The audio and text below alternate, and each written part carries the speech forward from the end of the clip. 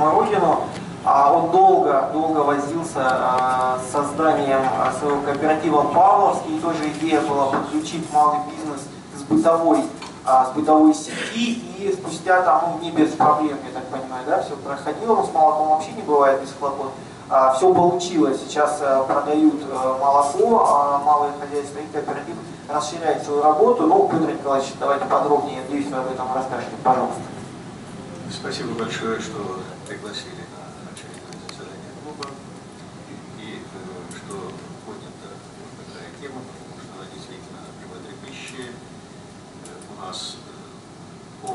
всем программам предполагается рост сельхозпродукции и молочной в первую очередь.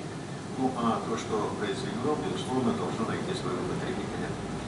Э, то, что касается э, молочки, не только молочки, э, практически и торгово-промышленная палата, и Министерство сельского хозяйства, да, и редакция крестьянина принимали различные меры для того, чтобы свести вместе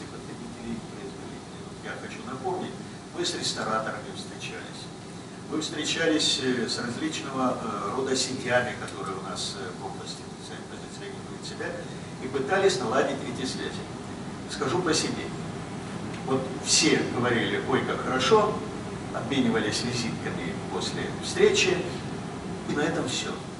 То есть дальше движения не было и по настоящему времени но, э, тем не менее, продукцию двигать надо, это безусловно. И э, для и сельхозпроизводителей, которые сами двигают свою продукцию, и для объединений этих производителей через кооперативы. Э, наверное, самый простой и надежный путь – это действующие рынки. Но, к сожалению, места там предоставляются, но иногда неподъемными являются цены за эти места, э, потому что по городу Ростову э, вилка такая, от 50-50-500, 50 э, рублей за место до 900 рублей. В зависимости от проходимости этого рынка, иногда стоимость аренды составляет 15-20% от общего дохода, полученного в результате реализации продукции. Это очень много, это тяжело, Э, но зато никаких затратов э, по бюджету. Более серьезные затраты, но э, и более эффек, большой эффект получается в плане регулирования цен, это прямые поставки. Хотелось бы работать с сетями. И у нас есть примеры, когда сети формирует дополнительную стоимость на предлагаемую продукцию производителя до 100% от закупочной цены э, у производителя. Естественно, такой рост цены снижает ликвидность продукции, снижает интерес потребителя к этой продукции, и, естественно, потом говорят, ну, ваша продукция не идет. Она идет, не идет не потому, что качество плохое или, э, скажем, этот сегмент рынка загружен, а э, только потому, что э, сети несоразмерно повышают свои наценки. Ну и вторая проблема из этого же ряда – это отсрочки платежей. Есть некоторые сети, которые позволяют себе до 50 дней отсрочку платежей, а если это брать молзаводы, которые берут на, на переработку, то э, даже до 90. Таким образом, сельхозпроизводитель, который и так на грани находится фола, Э, с оборотными средствами вынужден э, путем э, товарных кредитов поддерживать оборотные средства и сетей переработчиков, что тоже недопустимо. И вот получается, что мы приходим ну, наиболее хорошему варианту, это развитие собственных сетей. На сегодняшний день, вот мы за 9 месяцев работы, нам удалось разместить уже свою продукцию в девяти э, точках по городу Ростову. Разные точки, разные взаимоотношения, разные подходы, начиная от собственной, так сказать, э, собственных киосков и заканчивая передачей на э, комиссию с последующей реализацией. Но скажу, что интерес к такому виду взаимоотношений с потребителем, безусловно, есть. Цена производителя является последней ценой. Полностью отсутствуют посредники, а значит вся прирощенная стоимость остается у производителя. В то же время потребитель получает продукцию, ну, естественно, высокого качества, потому что каждый производитель за свою продукцию отвечает. А самое главное, по э, сравнимо невысоким ценам. Ну, могу как пример привести. Вот. Э, сегодня молоко 2,5-3,5%, 60, 68 рублей на прилавке. Мы свое молоко продаем с жирностью от 3,7 до 5, 2, 5, 3, по 50 рублей за литр. Если это отдаем, так сказать, на комиссию. Если сами продаем, 55 рублей за литр. То есть 82 рубля, полторашка, как это принято на рынке. Вся остальная продукция приблизительно вот по такому соотношению цен. Всем это нравится. Что является сдерживающим фактором и на что хотелось бы обратить внимание и Министерство сельского хозяйства, и правительство Ростовской области, потому что самим предпринимателям, кооперативам, даже если они объединятся в единый мощный кулак, эти вопросы не решить. В первую очередь, конечно же, это земельные участки под павильоны. Почему павильон?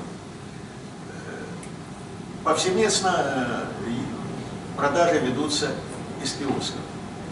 Но для сельхозпродукции киоск совершенно неподходящий вид общения с потребителем, потому что взаимоотношения рыночные вот здесь уместно сохранить, чтобы потребитель мог зайти, пощупать, попробовать, пообщаться с продавцами и купить то, чего он хочет купить. С другой стороны, если сегодня, вот я, например, реально продвигаю пока что только молочку, но глубоко убежден в том, что в павильонах должно иметь место наличие всей линейки сельхозпродукции. Это и овощи, это фрукты, это может быть и мясная продукция, если иметь в виду два, две витрины.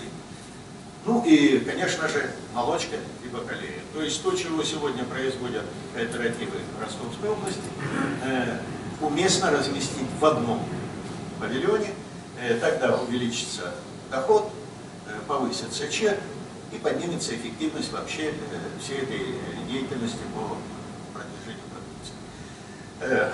У нас советский район оказался наиболее удобным по логистике, мы с ним работаем. И э, вот то, что я сейчас э, буду предлагать и говорить, э, на съезде в прошлом году я уже, так сказать, озвучивал, что в этом направлении надо двигаться. И мы двинулись, и вот получили какие-то результаты.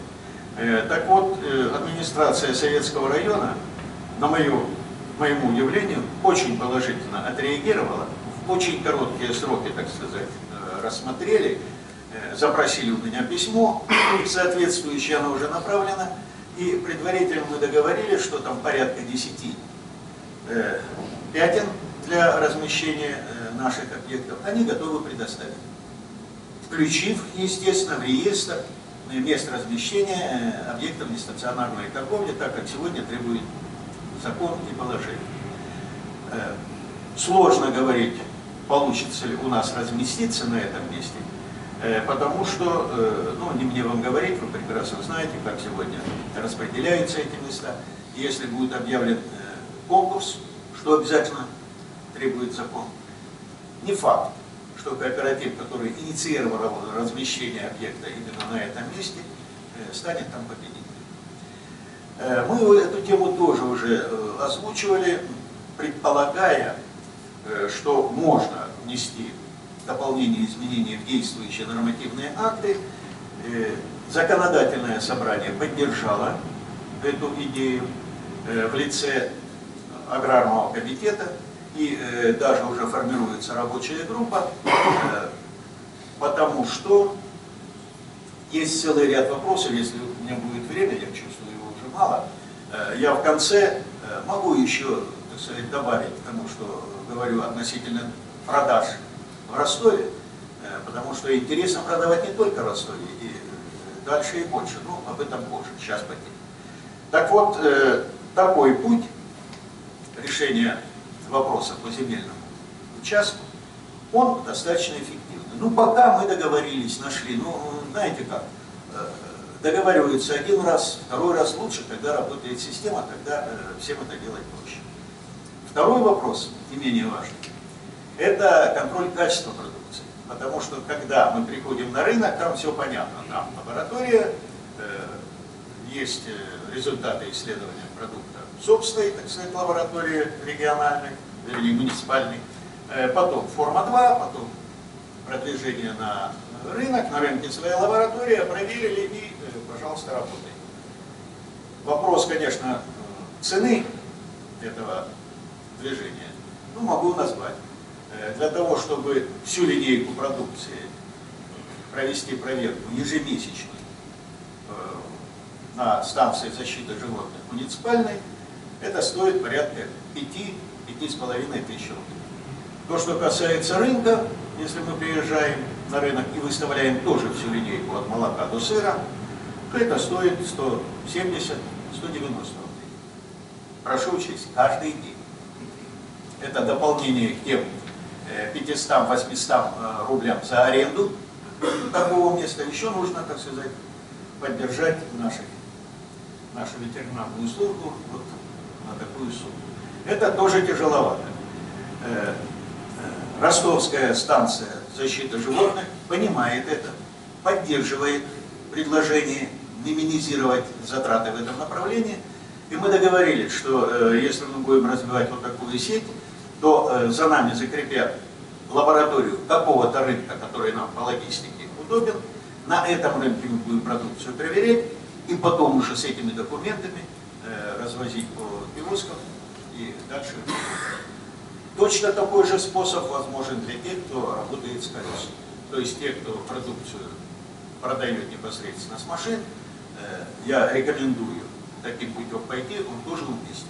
И мы проговорили, что такая возможность. Ну и, наконец, последнее, это сами павильоны. Э, потому что, безусловно, э, мы должны провести необходимую работу, чтобы этот павильон был уникален по своей конструкции, по своему дизайну, по оформлению – Э, чтобы он был узнаваем, э, потому что, предполагаю, э, не все и не всегда повезут продукцию в Ростов, но такая же схема, она уместна и на муниципальном уровне, потому что, ну, в Азове, во всяком случае, нас достаточно радушно приняли и тоже предложили, пожалуйста, давайте будем размещаться. Почему такой интерес муниципалитета? Потому что кроме того, что мы говорим, дайте участок, мы на этом участке разместим павильон и обеспечим хорошее качество, хорошие цены, э, ну, в разумной доступности вот, потребителям. Мы еще добавляем, если вы разместите наш павильон в местах несанкционированной торговли, что является сегодня бичом для всех администраций э, по э, торговле вот этих бабушек с ящиком, мы говорим, в этом случае мы организуем комиссионную закупку продукции, которые бабушки пришли продать. Там настолько небольшие объемы продаж, что э, практически включать э, рентабельность э, вот, в эти операции можно и обойтись. Там доход будет другой. А здесь будет достаточно бойкое место, потому что места не, соци... не санкционированной торговли, они, как правило, на пересечение потоков. Ну и, естественно, та продукция, которую бабушка привезла, во всяком случае, фрукты, овощи, они просто оперативно проверяются на качество. Ну а все остальное мы закупим, не станем продавать, пустим э, переработку, где э, вопросы качества станут уже вторичными. Вот таким образом мы делаем себя более привлекательными для муниципалитетов, и э, пытаемся решить в том числе и э, социальную составляющую э, той массы проблем, которая есть при продвижении. Ну, собственно, если вот совсем коротенько, прошу прощения, что так, если будет еще время, э, то я готов дополнить. Спасибо, Антон Ильич, прекрасный опыт, спасибо большое. А можно чуть подробнее рассказать вот про ассортимент? То есть у вас заходишь в магазин, там что, молоко, творог, да? Вся линейка. Вся, вся молочная Вся линейка, то есть это э, молоко, притом молоко сырое, э, второе сливки сырые. А в чем оно у вас там у вас охладитель стоит?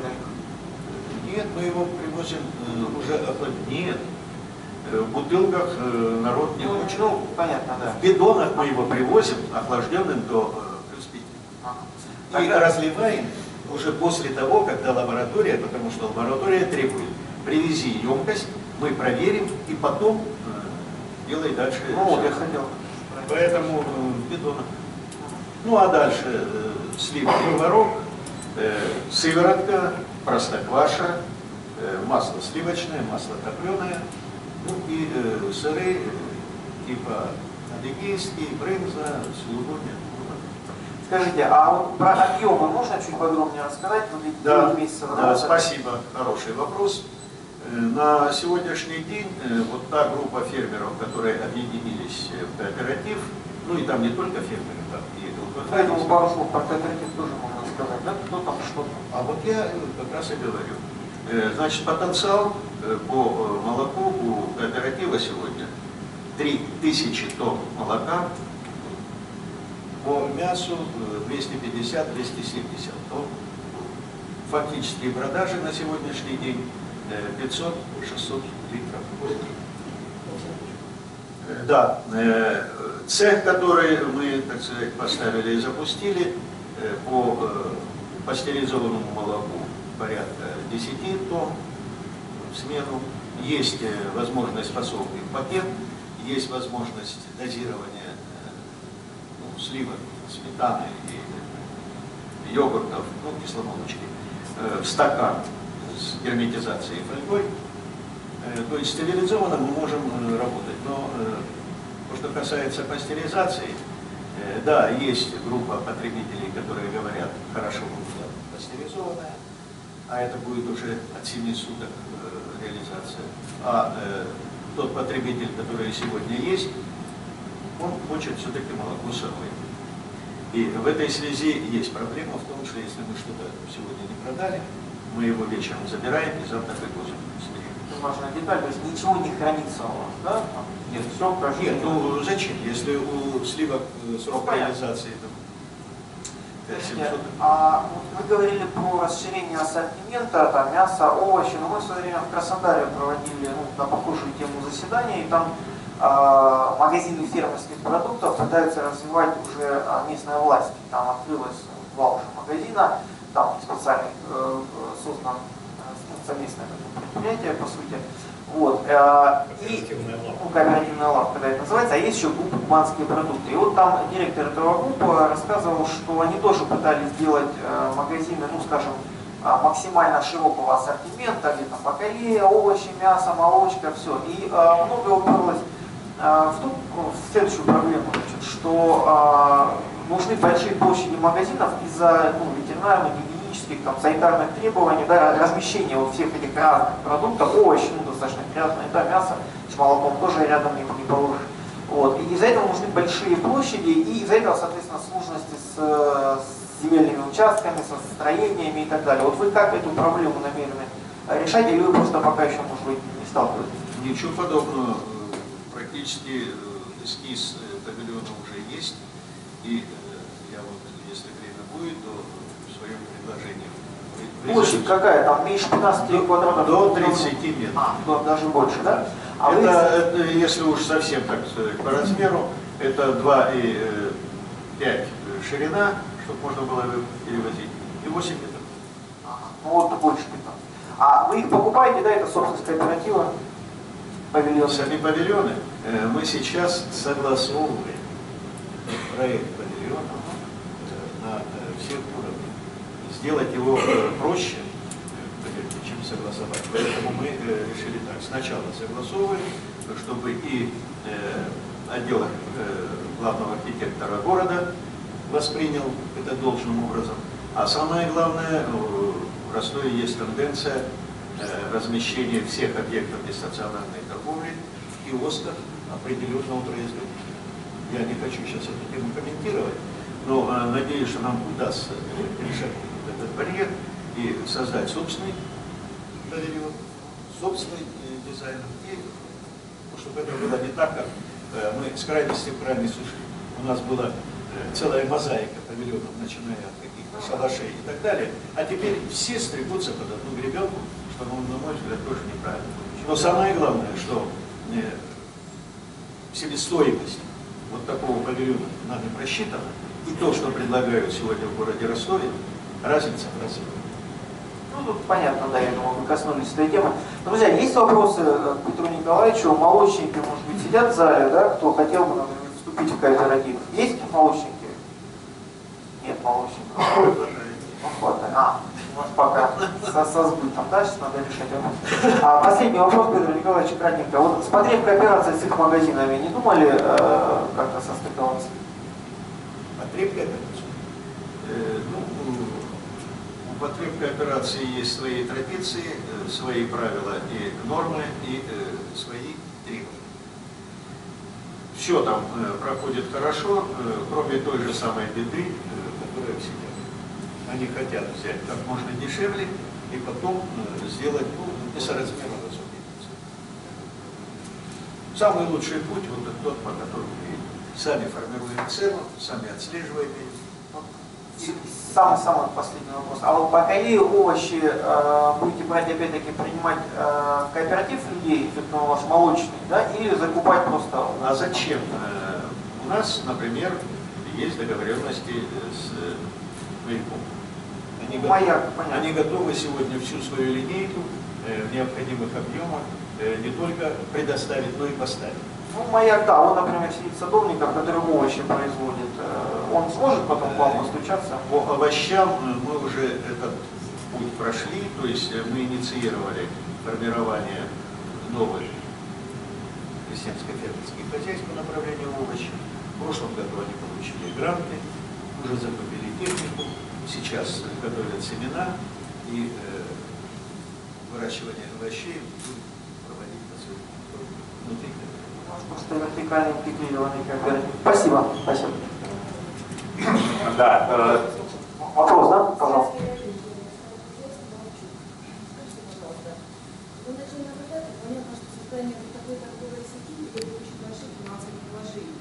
Рассчитывали ли вы экономически, за сколько окупается создание такой сети Ну, я вам скажу так. Э, фермеры, которые входят в кооператив, которые хотят свою продукцию продвигать, они готовы делать все, внесения членских взносов.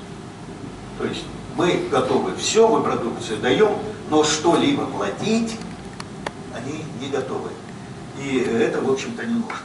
Э, потому что э, в составе кооператива есть не только фермеры, но есть и предприятие-переработчик, э, есть даже предприятия, которые планируют там машино-тракторную станцию сформировать, чтобы услуги оказывать.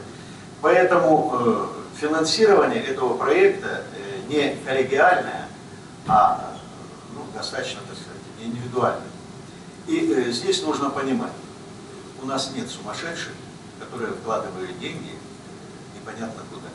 Э, безусловно, это рентабельно при выполнении тех условий, о которых я уже сказал. Если это будет недорогая земля, есть, ну, э, скажу, я как пример приведу. Сейчас э, там на локомотиве идет реорганизация, а ровно два месяца тому назад, вот, так сказать, проверяя, где у нас по Ростову какие цены и условия, я могу сказать, на локомотиве э, получить аренду земельный участок, не киоск, не торговое место, земельный участок, на котором разрешается э, э, арендатору разместить свой киоск, поставить. Это место стоит 22 тысячи рублей в месяц. Кроме этого, 2500 за охрану, 1500 рублей за оказание услуг там, социального, ну, уборка и прочее, прочее. То есть выходит почти 1000 рублей в день. Ну кто же это потянет? Да, можно там, если Они э, перепродают или э, сегодня повсеместно по Ростову э, почему-то определенные диаспоры торгуют молочной продукцией тацинских фермеров. Ну, тацинка, расстояние, логистика до Ростова и э, творог по 130 рублей килограмм. Понятное дело, что этот творог горит, если его зажигалкой зажечь. Но тем не менее он есть. И вот они там сегодня торгуют. Э, такой творог мне предлагали поставщики ингредиентов для изготовления вот таких, ну они называются не творог, а творожные продукты. Э, Так вот, себестоимость э, такого творога с учетом, что эти ингредиенты мне привезут, на моих производственных площадях запустят это производство силами своих технологов, обучат моих людей э, работе и обеспечат дальнейшую поставку этих ингредиентов, так вот себестоимость 60 рублей, кило- э, 67 рублей килограмм. Продажи 130. У нас с вами будет такая рентабельность? Никогда в жизни. Никогда. Мы работаем на 10, 12, ну вот на грани фола. А там, пожалуйста, вот так. Э, Поэтому, э, если все соблюсти э, пожелания и требования, о которых я сказал выше, то все рентабельно, все возможно, а расширяя ассортимент внутри одной торговой точки, повышается рентабельность, в том числе и относительно зарплаты. Могу сказать, у меня сегодня зарплата у продавцов это 10% от объема продаж. На отдельных точках это 1200-1300 рублей. Естественно, как бы, э, нормально люди работают, не, не повышают цены, не норовят там где-то э, обмануть э, в части веса. То есть это рентабельно. Если ответил, ответил. Да, спасибо, Петр Николаевич. Э, Есть еще э, в зале вопросы у фермеров? Пожалуйста, представьтесь, э, ваш вопрос. Зеленоградский район Янкович. Самое главное, фермер, который производит молочко. Почем молочко вам сдает? 21 рубль. Оплата ежедневно по факту получения. Хорошо. Э, Еще вопросы? Нет вопросов. Э, Давайте мы пере- перейдем.